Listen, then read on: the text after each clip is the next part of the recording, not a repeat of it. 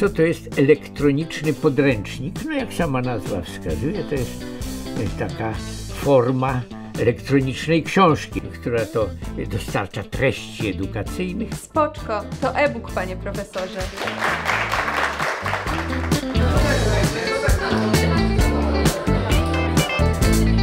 Samorząd województwa inwestuje w nowoczesny sprzęt do nauki zdalnej dla uczniów.